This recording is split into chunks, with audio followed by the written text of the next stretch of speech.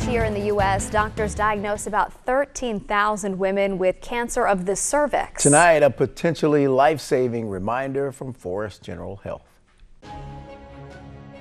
Your Healthy Minute, a health and wellness resource provided by Forrest Health.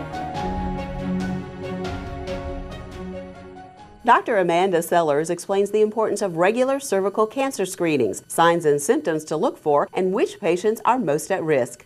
The cervix is part of the uterus. The uterus is the womb that where you carry a baby during pregnancy. We can test for cancerous cells of the cervix, and we do that through pap smears.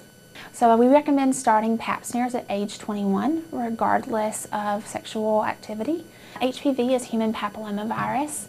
It's a virus that's spread through sexual contact, uh, but it's extremely common, so it's not quite like many of the other STDs that people have heard about. There aren't actually signs of HPV. You wouldn't know if you had that virus. That's why it's so important to get your uh, routine screening with pap smears.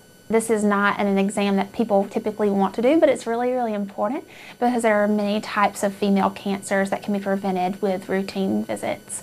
We recommend that patients come in starting at age 15 to, or 16 to get established with an OBGYN so they feel comfortable seeing him or her by the time that they recommend uh, exams, and that's at 21. We do recommend that pap smears start at age 21, and if normal, we see you annually with pap smear screening every three years.